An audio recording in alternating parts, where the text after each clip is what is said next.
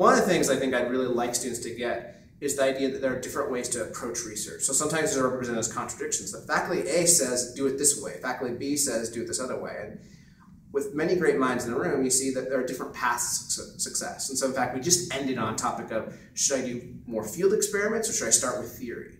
And probably both are possible paths to success. And what you have to figure out is what style is right for you. So one of the advantages of coming here is you can say, wow, there's some luminaries in the field what's their style, which ones resonate with me, which ones don't. So you get this nice exposure to different ways of reaching the same goal. Uh, do I need to? I so just, what? I can just ask. No, that's fine. Can you um, please dovetail? can you please dovetail?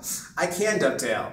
Uh, I think with faculty, when you want to interact with them, you know, are there any rules? People might wonder. I don't think there are rules. I think it's be yourself understand that people have different perspectives and do your best to learn from what they have to say. You want to think about anything you hear, any piece of advice you hear, it's just that, it's a piece of advice. It's one suggested way of doing things. We're in a dynamic field where we've seen many different indicators of success, people who have succeeded because they have amazing managerial relevance, because they're great experimentalists, or they're great theorists. I think the biggest thing with hope is, you know, for a PhD student, you're at a particular graduate program with a limited set of faculty. Even the best programs, you have only so many faculty at your disposal. So here, there's an opportunity to actually interact with multiple faculty from different universities from across the world. So I think the big thing is exposure to different thoughts, different ideas, different ways of doing things. And